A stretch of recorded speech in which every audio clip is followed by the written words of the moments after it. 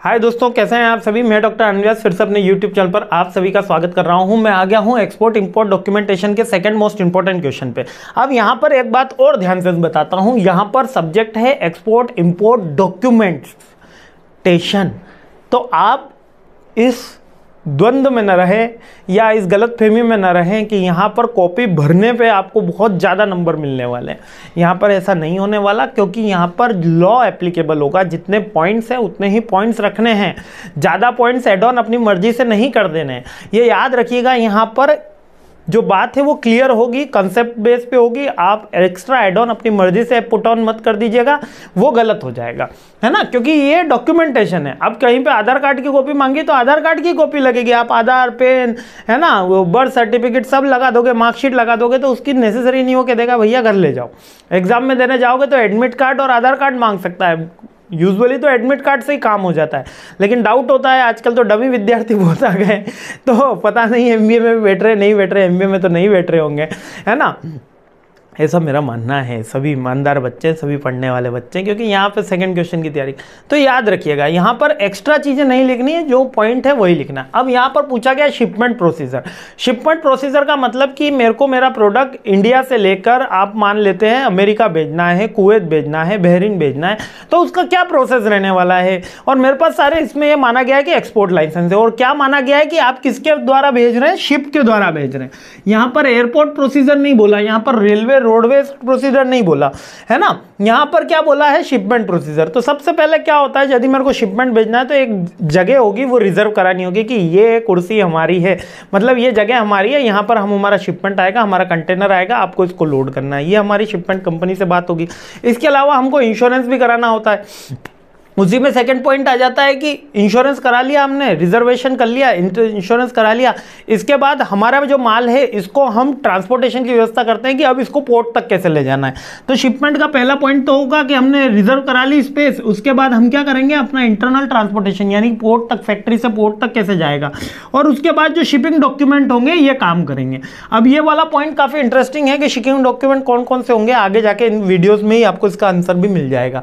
फिर हम custom clearance का भी काम करेंगे। कस्टम क्लियरेंस का मतलब कि हम वो प्रोडक्ट चेक कराएँगे कि कहीं उसके अंदर कोई ऐसा पदार्थ तो नहीं जा रहा जो भारत के लिए ज़्यादा ज़रूरी हो या वो अवैध हो, है ना इलीगल हो तो उसको कस्टम क्लियरेंस बोलते हैं। वो डॉक्यूमेंटेशन में हम तो लिख के दिया कि भैया हम किताबें बेच रहे हैं। अब पता चला कि कोई इलीगल एक्टिविटी का भी सामान उसके अंदर जा रहा हो ड्रग्स जा रहा हो वेपन्स जा रहे हो तो वो गवर्नमेंट के पास इंफॉर्मेशन होनी चाहिए। इसलिए गवर्नमेंट एक क्लियरेंस का काम कराती है, उसको कस्टम क्लियरेंस बोलते हैं।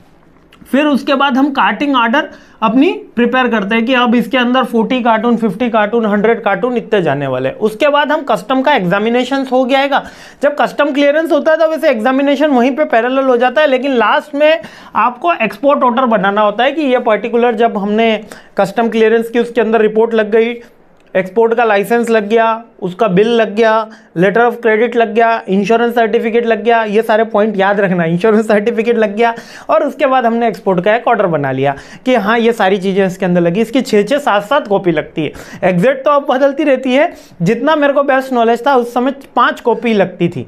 अब बदल गया, एक लाल, पीली, हरी, ऐसे वाइट और क्रीम कलर की ऐसे ऐसे पाँच छः कॉपी हुआ करती थी। अभी शायद से थोड़ा बदल गया है, क्योंकि मैं थोड़ा सा भी एक्सपोर्ट के प्रैक्टिकल लाइफ से हट में होंगे लेकिन पाँच कॉपी तो मिनिमम है। है ना? उसके बाद होने के बाद, यहाँ पर एक्सपोर्ट ऑर्डर बनने के बाद हम क्या करते थे? एक शिप ऑर्डर करते थे। यानी एक्सपोर्ट ऑर्डर तो मिल गया। अब शिप ऑर्डर का मतलब कि अब ये कैप्टन के पास जाएगा कि ये पर्टिकुलर कार्टून में पर्टिकुलर कंटेनर में पर्टिकुलर इतने कार्टून इस प्रोडक्ट के हैं। तो आप ऑप्ट कर लीजिए। ये ऐसे शिप ऑर्डर एक्सपोर्ट ऑर्डर साथ में ही लगते हैं। है ना? बट यहाँ पर जब हम थ्योरी के पॉइंट्स लिख रहे होते हैं तो अलग अलग हो जाता है। उसके बाद हम एक मैट रिसिप्ट और बिल ऑफ़ लैंडिंग देते हैं। लैंडिंग बिल जो होता है वो बेसिकली इन सब का कॉम्बिनेशन होता है, जिसके अंदर टू जेड सारी की सारी इंफॉर्मेशन होती है नट शेल के अंदर। कितने कार्टून है, इस क्वालिटी के, इस स्पेसिफिकेशन के, इस पार्टी के, इस पार्टी को देने हैं। इन हिसाब ने इसका कस्टम क्लियरेंस करा है। यहाँ पर ये एक्सपोर्ट का लाइसेंस ये रहा, ये सारी की सारी चीज़ें बिल ऑफ़ लेडिंग में लिखी हुई होती है। वो कब पैसा देगा, कितना पैसा देगा, ये नहीं लिखा होता। कितना अमाउंट का प्रोडक्ट है, ये लिखा होता है। ठीक है और मेट्स रिसिप्ट का मतलब कि आपने जो चढ़ा दिया है माल या शिप के जो कैप्टन है उसने अप्रूव कर दिया है तो वो मेट रिसिप्ट में आ जाता है आपका। ठीक है तो ये बहुत ही सिंपल जैसे ही वो माल यहाँ पे खत्म हो जाता है इसमें इंश्योरेंस का सर्टिफिकेट भी एड ऑन करना होता है ये सारे पॉइंट आपको याद रखने। यानी कि यदि मुझे माल यहाँ से भेजना है तो सबसे पहले क्या करना होगा?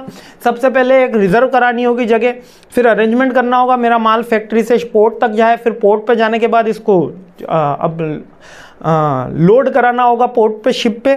उससे पहले मेरे को कुछ डॉक्यूमेंट्स प्रिपेयर करने होंगे लाइक इंश्योरेंस का सर्टिफिकेट प्रिपेयर करना होगा कस्टम का मेरे को क्लियरेंस लेना होगा। उसके अलावा बिल ऑफ़ लेडिंग उसके अंदर जमा होगा।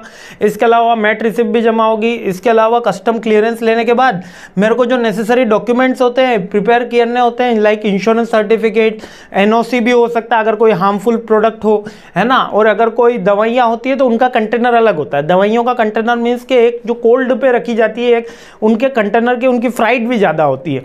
उनमें एक पर्टिकुलर टेम्परेचर सेट होता है जिसके द्वारा वो दवाइयाँ ख़राब नहीं होती हो। सकता पूरा का मतलब कंटेनर ही मतलब ए का होता है, आप ये समझ लीजिए, है ना? फिर एक कार्टिंग ऑर्डर वैल्यू भी होती है, जैसे हम कार्ट में कोई वैल्यू डाल रहे हैं तो कार्टिंग ऑर्डर वैल्यू भी क्रिएट करी जाती है, और कस्टम क्लियरेंस तो आप समझ ही गए, और एग्जामिनेशन क्लियरेंस के बाद मिलता है, ऊपर नीचे थोड़ा सा पॉइंट लिखा है, लेकिन दोनों पैरेलल में मिल जाते हैं अलग अलग लिखोगे तो भी कोई दिक्कत नहीं।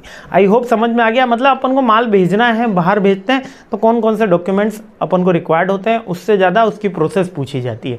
ठीक है, अब आगे बढ़ते हैं, तीसरे क्वेश्चन पे हमला बोलते हैं, अपनी सीरीज़ आगे बढ़ाते हैं। जय हिंद।